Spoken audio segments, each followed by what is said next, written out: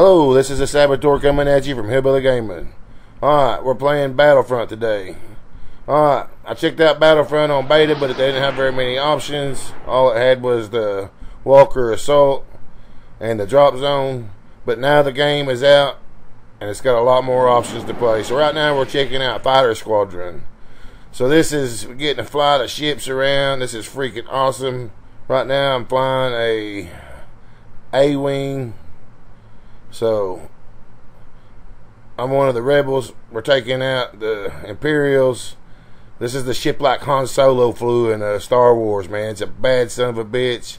And I really enjoy this game. I loved air superiority on battle Battlefield. Now, uh, Fighter Squadron on uh, Battlefront is just as fun, if not funner, man. Check this shit out. I have a pretty good game. It's my first time flying. I flew the the fighter fighter J, I don't know what I call them, spacecrafts, whatever. But I flew them on uh, the Battlefront beta on the Walker Assault, and I sucked, man. Every time I went up in one, I didn't get no freaking kills, and I usually crashed the son of a bitch right there, about come close to crashing. But I came out here and played it on a squadron or a fighter squadron, and it's freaking awesome, man. It's one of the one of the games that when I do buy this game, I'm gonna be playing it a lot because I do enjoy it a lot. Now you can just check out the the graphics here. It's pretty freaking awesome, guys. Alright, my fighter skills are starting to improve. This is like my third or fourth game on it, and I come out and I have a pretty good game, so I decided to bring it to a video. Alright, check it out. Flying around, gotta make some double maneuvers here.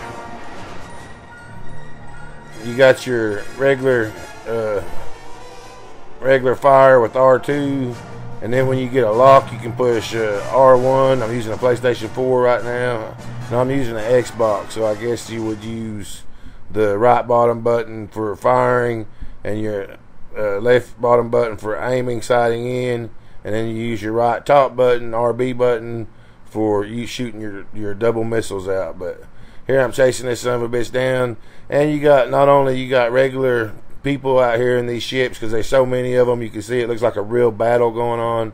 But you got regular people out here, plus you got AI as well. So I mean, you got to fight. A lot of these ships are AI, and the AI are a little easier to kill. But I mean, they got 30, 40 different spacecraft flying around on each side. So it'd be hard to put that many people in these planes because it'd be pretty pretty chaotic. So there is AI out here, but I mean I end up going two two kills against regular people, 15 kills against AI with zero deaths, which ain't a bad game. But I mean, I went and checked out all the rest of the Battlefront. Man, it's a pretty fun, pretty fun game. You know, I'm gonna do a review over it. I hate to to give away too much of my review, but even the they came out and they had a lot more maps. I mean, the beta, you know, I was kind of let down with the beta, but the game come out and it had a lot more maps a lot more different game modes. And this right here is going to be my favorite game mode. And the mechanics of it seemed a little better than it did in the beta.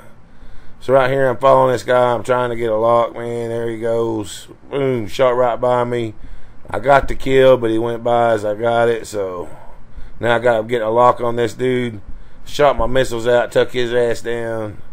But I mean, it, it makes me feel like I'm uh, Han Solo or Han Solo flying around with Chewbacca at my side, and we're going in for the big kill, fighting the, fixing to attack the Death Star. I wish they had a Death Star here to attack, man. That would be even a little bit more cooler. Oh, that ship I blew up just flew right through me. But there isn't no Death Star here to attack, because, I mean, that would make it a little cooler, put a little more realism in it, get out here and have the big fight. The rebels against the the Imperials and then have to take the Death Star down afterwards. But I don't need no Death Star. I'm having a lot of fun just out here flying around. Oh, look at I got him down. He's hurt. But I mean, it kind of. I mean, it'd be better if it was all real people instead of part of it being AI.